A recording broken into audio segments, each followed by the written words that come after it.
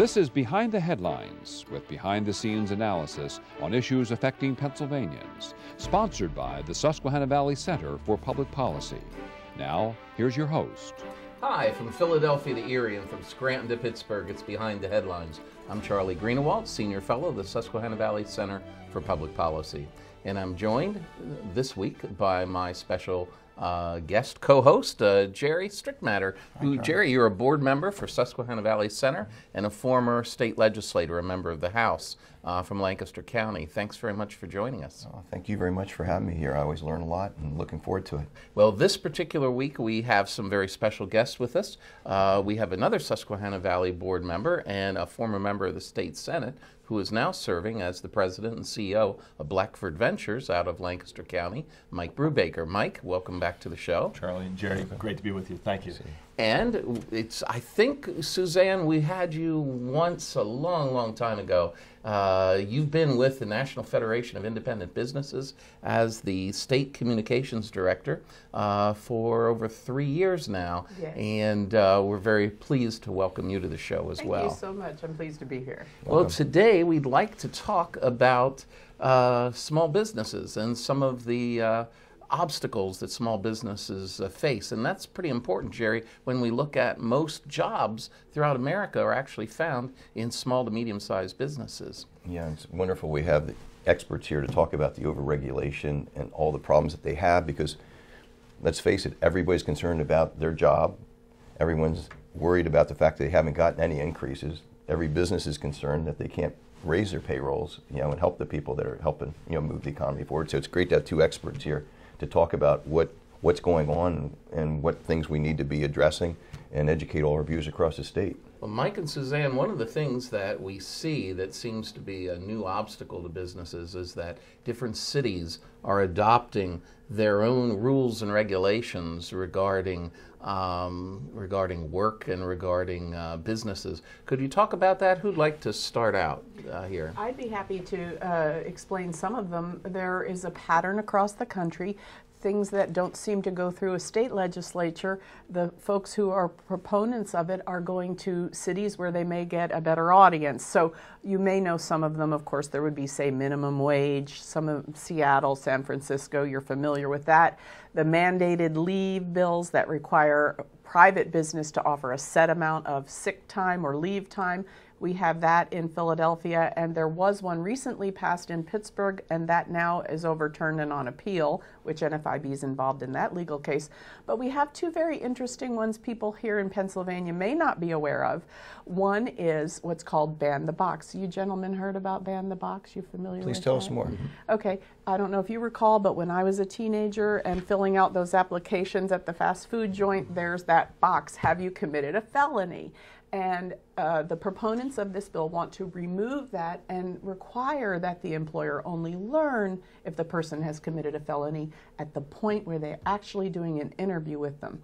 And the reason behind it, obviously, is somewhat honorable because a large group of people are having tough time getting a job and back into the workforce after con- being convicted of a felony. But on the other hand, a small business, they don't have an HR department for the most part. They have to interview all those different people who've applied. And so it makes it very difficult when they may feel that does not fit well with their small business to have to wait to that point. It's an administrative nightmare, and we just don't think that it's appropriate to mandate something like Uh, that. I'd like I'd like to follow up on that. Are you telling me then that child predators can go to businesses that deal with children, and the businesses don't know about their their past record? Now, that is probably taken out in the specific bill that is passed.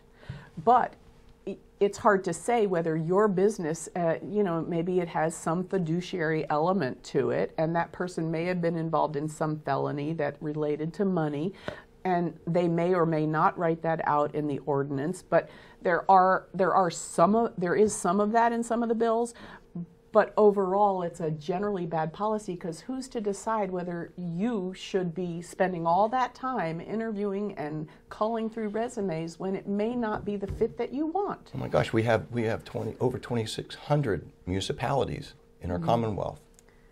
Well, this Correct. And and, and this yes. would, each one, what you're saying, is each one could come up with their own standards. Correct. Now, there you've just touched upon something really significant, which is this balkanization. It's like a patchwork quilt. If every jurisdiction in Pennsylvania has a different law, each one is somewhat different, no matter what they are in labor rules. What a confusion! People won't be able to follow it. Let's say you have a business in a city. Well, you're on a different playing field and the guy right over the border. The pizza place here, the pizza place here. Goodness gracious, that hurts you. What if you have several locations of your business? How do you keep track? Uh, you have to hire somebody. It's another Mike, cost. Mike, you were you were state senator for many years. Did a great job representing Lancaster County. And he, could you address this? How is this even possible? There's something in a constitutional law called Dillon's Rule uh, that has supposedly been agreed upon across the country, and that is that all local and regional governments are the creatures of state government, and the state government has the final say. But yet it doesn't appear that way in practice when we look at, Suzanne talked about the rules and new rules in Pittsburgh. What's going on here, and how difficult does this make business startups, Mike? Well, uh, I'm thrilled to hear this conversation because I think the viewers, I hope the viewers are, are listening and, and, paying attention because this is a problem that really does need to be resolved. So we are a significant employer. Uh, I work for Blackford Ventures. The Blackford Companies is a larger regional company. And so we are doing business all across the state. So as a company that does business across the state, tries to make jobs, build buildings, uh, get the economy going again, it's literally impossible for any business to understand where all these new rules and regulations are in all these local jurisdictions. So we do need, uh, thank goodness we have NFIB, the Pennsylvania Chamber, and others to help brief us as, as to uh, the, the, the, rules of the land before we enter a new piece of ge uh, geography. But it's very, very complex. And, and, and as a develop, again, as a, the development part of our company, uh, we go through it's years and years of permits and regulatory control. Mm-hmm. In order to develop it, sometimes we need to improve a road a mile north and a mile south. Sometimes we have to buy right away from private landowners in a private transaction to improve a road that was deficient by development that occurred well before us. So everybody wants, Republicans, Democrats alike, all want the economy to grow. And what I think what we're trying to say is there's these barriers to, to, the, to the growth of, of, the economy. And I love when Susan said a lot of these, these laws or rules or ordinances start in good faith. Someone's actually trying to fix a problem, but they take this, this relatively unique problem, make a law across the entire jurisdiction or the, or the entire state, and it's an overreach. Now, it's, now there's a real uh, regulatory cost. And maybe unintended consequences. But you know, you made a point that struck a chord with me because a lot of our business owners say, with all of this regulatory bur burden, the long waits for permits, these other laws, they say, I would never start this business today.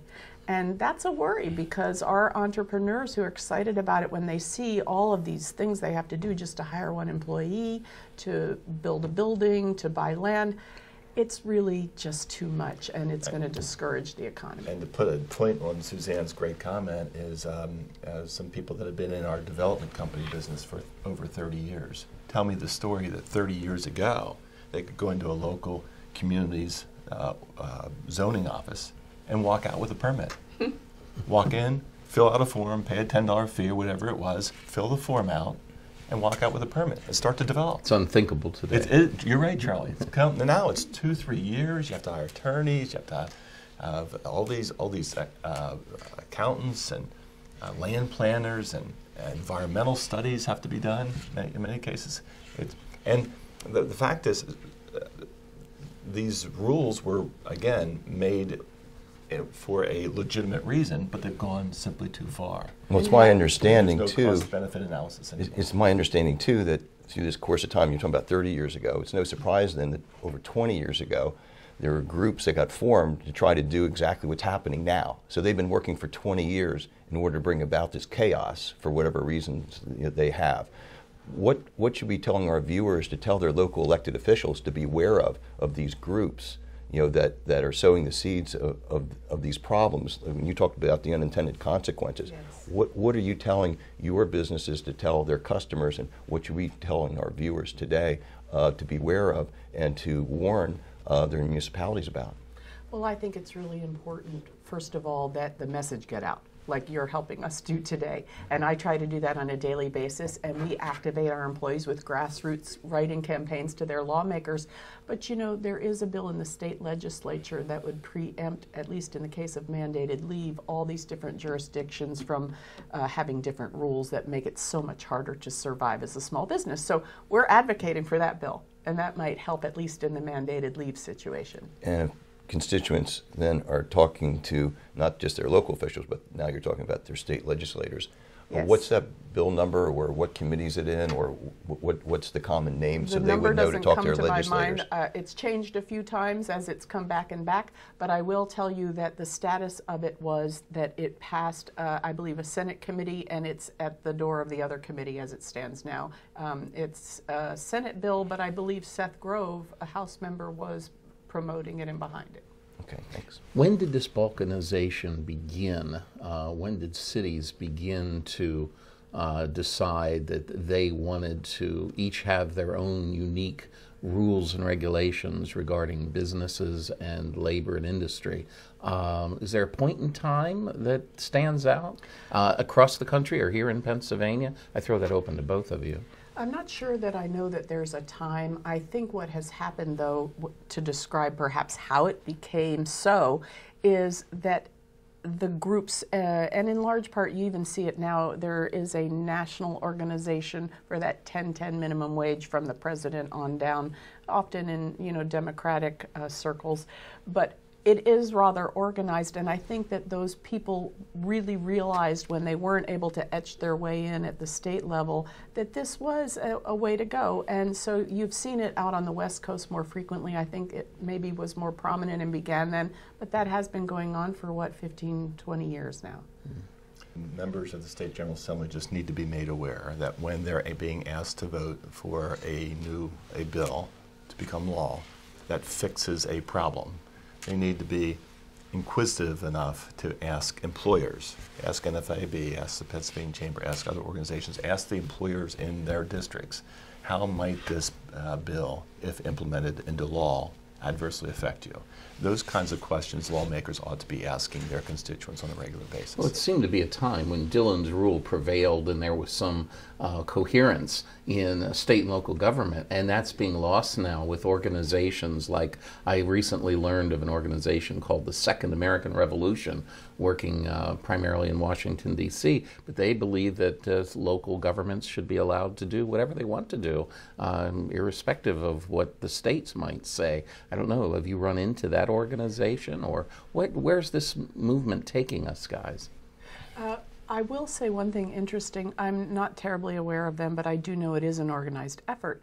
But you had mentioned there had been this, was it Dillon's Dillon's rule. Dillon's rule. In the case of Pittsburgh and the mandated leave, uh, they do have home rule, and another similar case had been overturned when they passed it as a result of that. But in this instance related to mandated leave, they were able to circumvent the current law by going through their health regulations. Because apparently, the whole idea of mandated leave, if you're in a restaurant and it, uh, an employee is ill, they have a cold, they're sick, and oh, they might sneeze in your soup because they're not given leave, and so they use that vehicle to get the the um, ordinance passed. One thing I would interject and just ask, uh, I would believe that this isn't just businesses, you know, that are concerned with this, uh, but unions also would be concerned with this because if, as you say, Mike, projects aren't getting started, then that means they don't have work as well. So I think it is a, a bipartisan uh, or nonpartisan uh, issue, isn't it? Uh, I think clearly it's just been creeping up uh, it, in our lifetimes. When we were born, when we were born, uh, there was no EPA. EPA is about 25 years old. Can you even begin to imagine no federal regulatory uh, department overseeing the environment? Well, and how active they are now, and how many tens of thousands of people, and how many actions are being taken on a regular basis. So we have we've had this government creep going on for a long time, and the viewers just need to understand there needs to be a stop to it. There needs to be a slowdown of the of the increase at least uh, because it's adversely affecting our economy. And if everybody wants our economy to be better, we need to understand that these issues that Su- Suzanne is speaking very well of and I have an adverse effect on job creation. I mean, you're trying to create jobs, and you've been doing that, Mike, for a good long time, and yet we have over 92 million unemployed people in America. Uh, I hear these reports of how the economy is getting better and improving, and it drives me wild because 92 million unemployed people in America, and I know you're out there trying to create jobs. This has uh, been this is an increasing problem for you. Then, well, if employers had a, a more flexibility in how they um, uh, manage their own workforces, there would be a lot more of those 92 million people employed. There's no doubt about that. Let me give you a number that's sort of In, in 15 seconds or less. No problem. 81,000 pages of federal regulations put through last year. Ah, and on that note, we'll wrap up this first segment. Invite you both back. Uh, this is an important topic. We need to talk uh, a lot about unemployment, and we will see you right after this break. Stay tuned on Behind the Headlines. Behind the Headlines is brought to you as a public service by the Hospital and Health System Association of Pennsylvania, helping hospitals provide healing, health, and hope to communities across the state. And by the Pennsylvania Business Council, envisioning a commonwealth in which residents enjoy a very high quality of life in sustainable communities. The Council works aggressively to define key long term policy strategies and solutions to make the Commonwealth more competitive, creating and sustaining a better Pennsylvania. Additional underwriting provided by the Worrell Corporation Foundation, based in Carlisle, Pennsylvania, by the Edward H. and Jeannie Arnold Foundation, and by the Pennsylvania Manufacturers Association. Business in Pennsylvania is our business. Behind the Headlines is also supported as a public service by Daily Express, transporting construction, farm, and industrial equipment throughout the United States, and by Blackford Ventures LLC a private equity firm seeking to make significant investments in real estate, proven business enterprises, and their leaders. Find out more at www.blackfordventures.com. And by the Pennsylvania Highway Information Association, the go to source to learn about transportation projects and issues. Visit pahighwayinfo.org. Hi, welcome back to Behind the Headlines. On the second segment, Jere and I are happy to welcome to the show Scott Bishop. Scott is the Senior Vice President of the Hospital and Health System Association of Pennsylvania. Scott, welcome to the show. Thanks for having me. Well, it's nice to have you here to talk about healthcare continues to be one of the most important topics in state government. And of course, we are cobbling or attempting to cobble together another state budget at this very moment here on uh, Capitol Hill in Harrisburg. How did this most recently, I guess so we can say, approved state budget for last year, how did that end up impacting hospitals and healthcare in Pennsylvania? Well, it was a good budget for, for uh, Pennsylvania hospitals. The legislature, I know it was a long, difficult process uh, for them, but really uh, the, the legislative vehicles they put forth, um, they were all uh, about uh, equitable funding, uh, the right funding for hospitals, and so we're glad to see that that that their work you know, was ultimately enacted into law as the as the state budget for the 15-16 uh, fiscal year, and they continue to do that same great work uh, in preparing for the 16-17 uh, fiscal year. So we're hopeful for an on-time budget. We're hopeful for a budget that continues the same funding uh, that the legislature started uh, in 15-16, and we're hopeful we'll we'll get there. So I think that uh, you know we're at that point in time where we have to wait and see how the next couple of weeks unfurl and, and that work that that gets done. But we're off to the uh, on the right track uh, with the legislature, and I think I do think it's important that uh, we talk about the governor's uh, outlook. Uh, one of the things that we do think is the right way to to look at things is.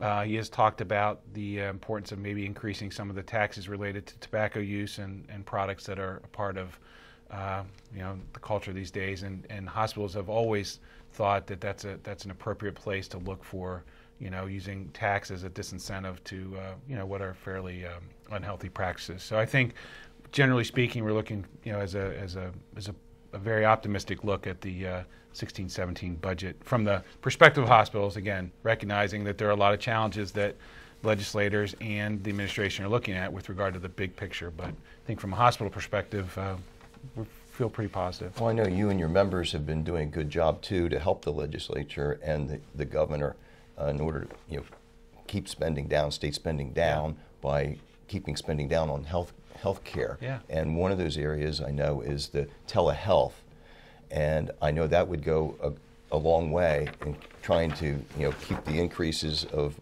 of spending down and maybe even have some savings that would then try to try to help us you know stay within our, our current budget, which helps the, the legislature and, and the governor. Tell us more about the telehealth. Right. So you're right about healthcare. It's always changing, and, and that's a positive thing because you know uh, whether it's technology uh, or it's bricks and mortar. I mean, hospitals and, and healthcare providers you know, are always trying to to stay ahead of, of what you know uh, they need to be doing, and the telehealth component of that is is making sure that technology is used uh, to the best way it can be with regard to the healthcare needs of, of folks, and it's and it's it's the same quality care that you get if you were walk into a physician's office or you go into a hospital in, in many cases but we just make good use of the technology that's that's available to us, and um, why wouldn't we want to to do that? So, I think it's one of those issues where it's happening now, um, but uh, the the technology and, and the healthcare and the needs they're kind of at one stage, and the, the legislative process and some of the you know the minutia that goes with that is is at a different stage, and we need to we're going to try to bring those two uh, more uh, more together. What are the practical uses, Scott, for telehealth? Yeah, so I think you could look at it a couple different ways. I think, um, and starting at the most important, I mean, telehealth is a life saving um, process for healthcare. And I'll give you a very easy example uh, we refer to as telestroke. So um, if you think when, when a person has a stroke, um, think of it this way there are just about 2 billion or 2 million uh, brain cells die each minute that a stroke is, is happening, right? And so the difference uh, in, is really in minutes when it comes to trying to care for a patient like that. And what telestroke does is it if a if a patient comes to a, hospital that doesn't have a neurosurgeon, um, that hospital can you know can use technology to have a, a, you know basically a neurosurgeon come right into the room with the emergency department physician and nurses, and then help that physician and nurse on site um, assess what's going on with the patient, uh, you know, ensure that it is a stroke, uh, go through the battery of tests, and then help that patient understand here's what the best course of treatment would be for you right on the right on the spot, and then you either get the patient if he or she's able to do so, or their family or whatever to make that decision. And you know, the difference um, can mean a patient walking out of an emergency department, you know, day or two later, versus spending, you know, years in a rehabilitation facility or something because because the treatment protocols weren't uh, in, you know initiated when they could have been and so that's that's probably the most dramatic example of, of um, telehealth. A second um, important example is uh, if you think about teledermatology. You know, we all, you know, I'm fair skinned, so you know, every now and then there's you know things happening. Well, you should get that looked at, and but it's a hassle. You know, you have to wait for a dermatologist, or especially that you know there there are not a lot of them. And so the idea of teledermatology is, you know, being able to take a picture of, you know, whatever the, you know, the uh, surprising thing is, and you and you send a picture, and, and you know, nine times out of ten, maybe it's oh, you, look, it's a normal whatever. The next time you can make a, an appointment to come in, great. Or it could be something where a dermatologist would say, hey, that has that looks like it might be something. We should try to get you in, and you know, preventative care and stuff like that is is is always important. Um, we have tele-urgent care. You know, uh, that's a kind of a new trend. And, and when you can't get to see your family doc, you might go to an urgent care center. Uh, we've got uh, hospitals and health systems that have uh, that process, and where you know, again, you're not gonna. If a physician needs to see you, you know, if you need to be seen in person, they're gonna say, "Hey, this is something you need to see." But uh, maybe it's something you can instead of going and waiting in line and sitting those, you know, you can go on the queue. You can have something looked at. Um, so there's all those kinds of things, and then to just the normal. You know, we, are a country where I think we're at two thirds of us are using smartphones, and you know, there's a lot of aspects of telehealth. Um, you know, where you could go and just have regular appointments, regular things that you're doing just right with your phone. So all those are different ways in which telehealth can improve the uh, health care of, of folks. And it, it improve costs in any number of different ways. Every time you don't have to, you know, the expense of driving, traveling, whatever the case is. Um, so there's a lot of different ways in which it does that. But that's that's it. I mean, and, and again, it's it's all about making sure patients have the right care at the right place at the right time. Not substituting if you need to be seen in a facility or you need to be seen by a physician. Um, but you know, for those times where you could do it from the comfort of your own home, we want to try to do. Yeah, definitely have to you know commend you and the association and the uh, all the all your members, all the hospitals out there for you know using those dollars wisely. A lot of times there's you know criticism about the fact, well, you're nonprofit or you're healthcare, you're you're making money off of the sick, but Yeah. you need to have those reserve funds. You need to be making money to be able to go back and reinvest. Uh, as you just talked about, Yeah. you know, getting people out of the emergency room queue, where that's the most expensive care, into the urgent care. That took a lot of money from the hospitals to do that, and to reach out to the community, and also with this telehealth. So I want to th- thank you and the and, and all the, all the hospitals for doing that. I think you need to do a better job though at communicating that.